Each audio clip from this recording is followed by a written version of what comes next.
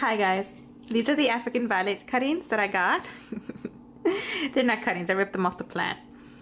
That I got from my friend's African violets. And they literally been sitting in this mug since I got them. And I need to pot them up properly. Let me take them out. Actually, let me show them to you. There we go. This is one of them. I don't know if you guys can see, it's pink in the center right here it's got little pink. So and then it's light green. So that's gonna be a really nice one I think. And it's got the pink stem. So and then I thought these two were the exact same but the leaves are different. So I'm not too sure. Maybe I got an older leaf. Apparently there's a science. There's a method. There's apparently there's a method on which leaves you're supposed to take so I'm not too sure if I got an old leaf or a new leaf, but this one is a much darker green. And yeah, this is a darker green. It's definitely fuzzy. They're so weird. I don't know why. but I guess I've gotten over my fear of African violets because I'm touching it. and I have it in my house. Just, and there's this guy. Now that I see this guy looks like, look at that. Someone must have gotten to him at some point. Yeah. So they've been sitting in the water and I keep becoming afraid that they're gonna fall into the water. And they're not in a lot of water, just enough. To keep them from drying out.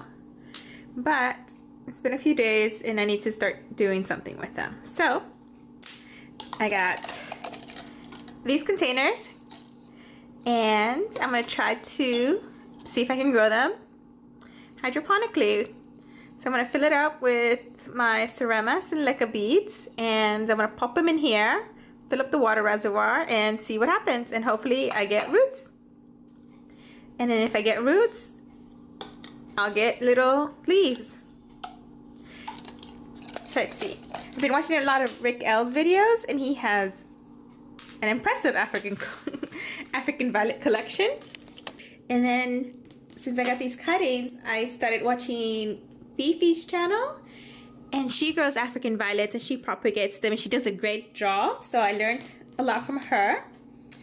And so what I've learned is, according to Fifi, the new um, roots and stuff will start sprouting about half an inch from the bottom. So what I'm going to do is make a fresh cut for this guy. And then you should do an angle cut. And the angle cut should be in the direction of the fuzzy leaf. So let's see, hopefully my knife is nice and sharp.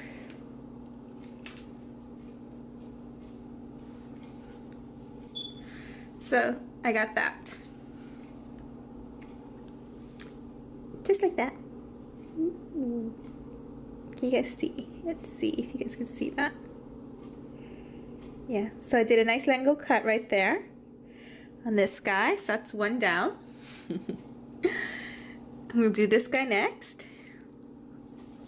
So, just nice horizontal. It also has the largest surface for it to um, absorb water. There you go. See? Nice angle in the direction of the fuzzy leaf. And this guy, his stem's not nearly as long as the others. So, but he still has enough that he should still I didn't like that cut. Let me see if I make a nicer one. There we go. It's still enough. It's not as angled as the other ones but slightly angled. Might do. Shave off a little bit more from the top. Just a little bit. There we go. That's better. Yeah. So so Corner Fifi, she gets her growth about half an inch from the bottom up. To within the half inch range this guy should start growing. So I gotta keep that in mind when I stick him in. Especially this guy. This guy doesn't have a lot of doesn't have a large stem. Oh and the stem has an actual name. I forgot what it's called. Something with a P. Parolio Parolio whatever it is I'll put it on the screen but yeah there's the stem actually has an actual name it's not called a stem it has a different name to it so these are the three And they're gonna go all go in here. And I got three different containers because it's what I have right now. the fanciest one. We'll see who gets that honor. So I have all my clean Leca beads and seramis. I use a little hydroton pebbles. Fancy one first. Yeah, so apparently they're hard to grow. I don't know why. I've never, I'm not a big fan. So if these guys grow and take and stuff, I'll give them away.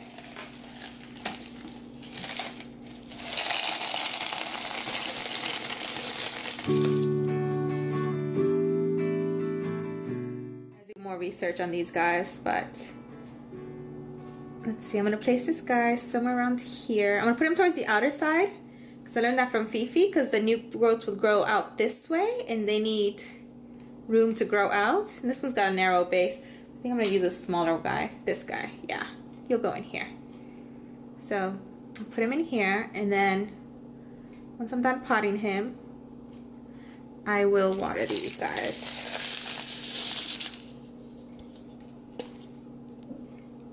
Make sure he's nice and stable inside.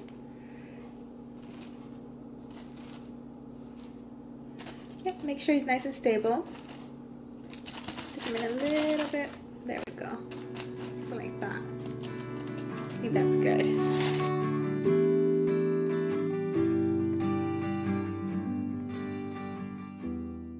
So I think this guy's good. I got him in there. Now I'm gonna do the other two and then I'm gonna water them.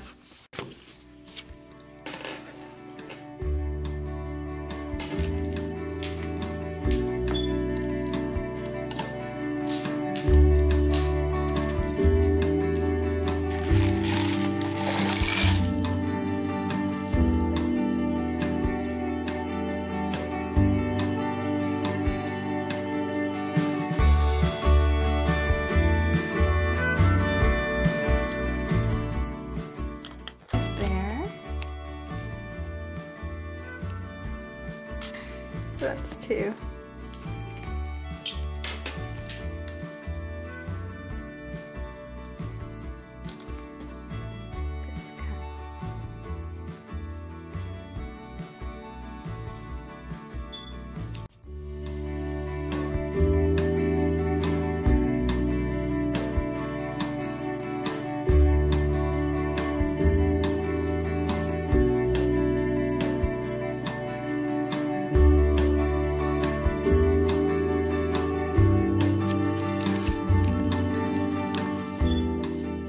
that's it. This guy is at a little floppy, but it's not. I think of these bigger. I don't. It's not floppy like it's bad. It's just a little. Oh, not too sure. So these are the three I have right now. And see how see how these are nice and upright. I don't know if this one's floppy because it's bigger, or it's a larger leaf, or because it's a floppy type of African violet, or I'm not too sure. I feel like the leaf should still be perky. He bends down, or maybe it's too heavy under his weight. But we'll see. Some people put a little bag over them to maintain humidity, or they stick them in a bag to maintain humidity. I'm gonna put these, I think, on my top of my humidity tray. And right now I'm gonna go get some water and fill these. Actually, I'm gonna take them to the sink and I'm gonna fill them up and I'll be right back. So that's it. I water them. I have to keep, I'm gonna keep the reservoir full on these guys. I'm gonna stick them on my humidity tray.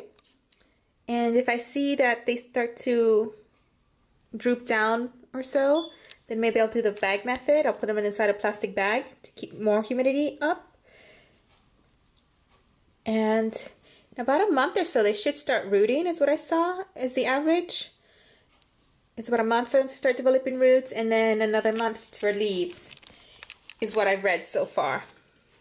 But we'll see, and I have to keep it wet because if the Seramis dries out, Seramis Leca dries out, and the reservoir dries out, then I'm basically trying to grow. I'm basically trying to grow African violets in air with nothing, with no moisture or anything, and that's just um, that's like a little too extreme. I don't think that's gonna, that's not very realistic. But yeah, so hopefully these take, they don't die on me. Especially this one, I kind of like this guy, especially if he gets pinker in the center. So yeah, hoping they don't die on me. If they die, I'll document that too, I guess. I'll let you guys know. So we'll check back on these guys in a few weeks to see how they're doing, see if they're progressing, see if they're putting in roots. And so far, I just gave them plain tap water. New York City tap water is what they're getting right now. And they'll probably get watered when I water my, will probably get watered when I water the orchids. And I'm going to try to make an effort to make sure these do not dry out. Yeah, they should take, they should take. It's hydroponics. There's no reason for it. I just gotta make sure that once they get roots and things, I give them nutrients. Right now, I'm not gonna give any fertilizer since they have no roots. I think they just need to maintain, actually, they're still waking water, but I think right now, we'll see. And if these guys die, I have a supply of endless African violet leaves until my friend runs out of leaves. so that's it. Thanks for watching. Don't forget to comment, like, and subscribe. I'll see you guys soon. All right. Bye.